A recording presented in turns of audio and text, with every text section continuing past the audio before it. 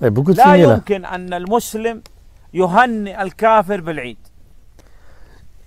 Vous avez- comme- Il a dit le, le musulman, impossible, il doit présenter ses vœux à un mécréant pour ses fêtes.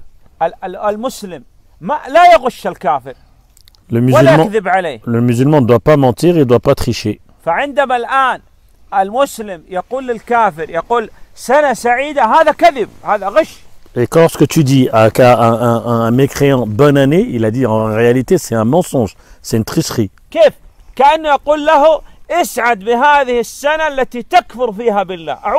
C'est comme s'il te disait sois joyeux pendant cette année dans laquelle tu vas, tu vas mécroire en Allah.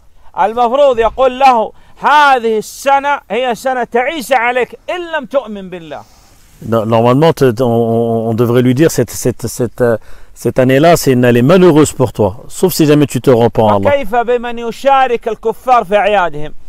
Il dit alors comment, euh, imaginez-vous le cas de figure de la personne qui carrément s'associe à eux dans les fêtes. Donc la fête chez les musulmans, on doit on, on, remercie Allah on, on adore Allah subhanahu wa ta'ala. في كل عيد نتصدق Pour, pour, te- de- pour chaque Eid, on fait, on fait une sadaqa, une aumône. لا نضيع الأموال كما يحدث عندهم في العيد On gaspille pas de l'argent comme les, les mécréants.